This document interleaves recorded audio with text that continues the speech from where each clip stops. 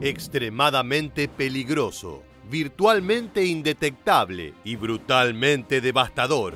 El bombardero B-2 Spirit norteamericano es una de las piezas más importantes de la Fuerza Aérea de los Estados Unidos y paradójicamente una de las menos utilizadas. La combinación de una reducida firma infrarroja, acústica, electromagnética, visual y del radar hacen de este bombardero invisible uno de los vehículos más letales del mundo, pero su alto costo de manufactura también lo vuelve una piedra preciosa que los norteamericanos no quieren poner en peligro.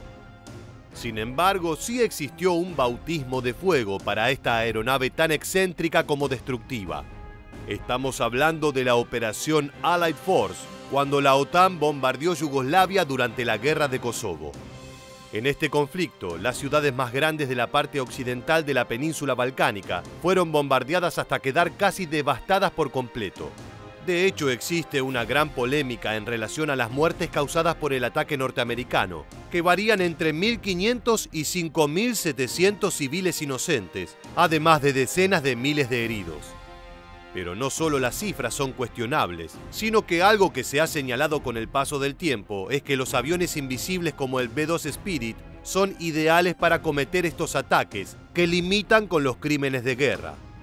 Cuando un vehículo que puede operar en el mayor de los secretos y cargar hasta 36 toneladas de explosivos letales se ve involucrado en uno de los bombardeos más polémicos de la historia reciente, no es de extrañar que sea el foco de todas las investigaciones. De hecho, los exhaustivos trabajos de investigación sobre el accionar del bombardeo han mostrado datos muy curiosos. De toda la destrucción generada por la OTAN, buena parte fue causada por el B-2 Spirit, que a su vez representó la menor cantidad de horas de vuelo durante la campaña.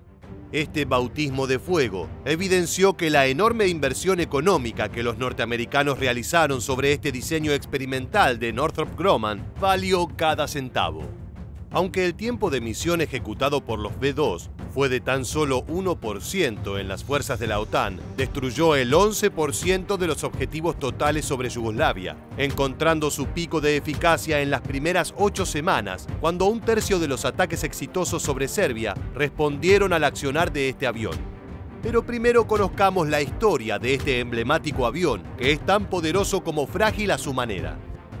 El B-2 Spirit se desarrolló originalmente durante la Guerra Fría como una contramedida a un posible ataque nuclear por parte de la Unión Soviética contra los Estados Unidos. Se trata de la aeronave militar más cara de la historia, con un valor por unidad que rondaba los 2.200 millones de dólares, incluyendo costos de fabricación, gastos de desarrollo, ingeniería y pruebas.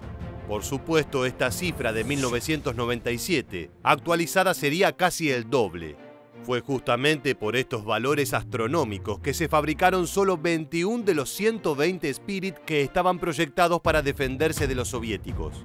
También es importante tener en cuenta que la caída del comunismo en el bloque oriental llevó a que el por entonces presidente Bill Clinton redujera extremadamente el presupuesto dedicado a este tipo de proyectos. Además de su característico diseño en forma de flecha con las alas dibujadas en W, el Spirit representó un salto tecnológico extremo en relación a su capacidad stealth, además de poseer una enorme capacidad para cargar bombas que superó incluso a los legendarios Stratofortress.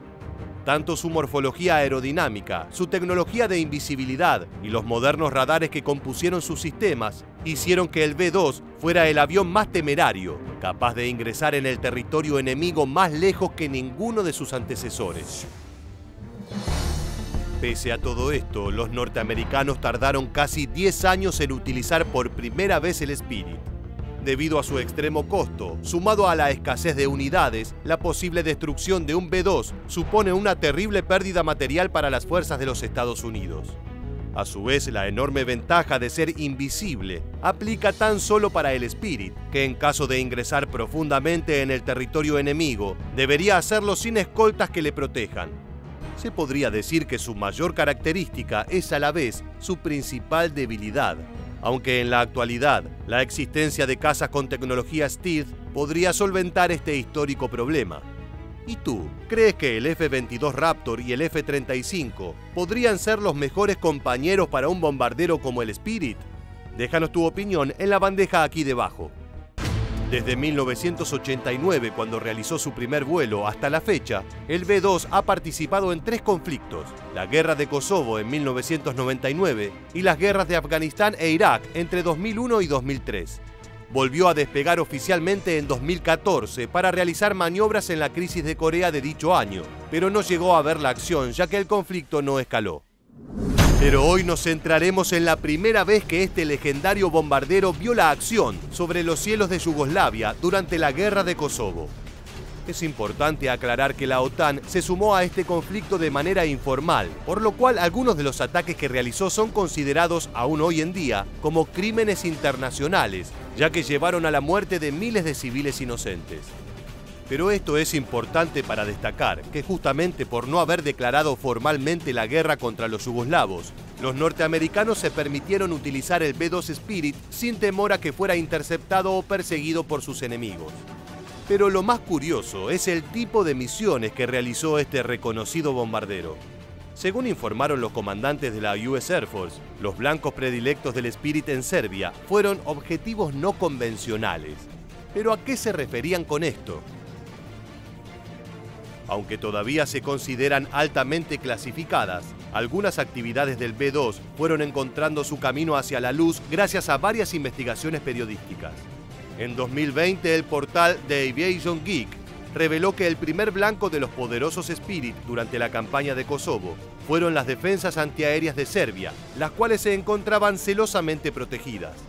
De hecho, todo el plan operativo del B2 giró en torno a dos misiones centrales interrumpir la cadena de suministros del enemigo y devastar tanto los radares como los sistemas de misiles tierra-aire para facilitar el trabajo de las aeronaves de la OTAN que protagonizaban los ataques, como el F-15E Strike Eagle. Los Spirit cumplieron un rol vital destruyendo los centros nerviosos de la defensa enemiga, centrando sus ataques en instalaciones de comunicaciones, antenas de radar y especialmente equipos de vigilancia aérea.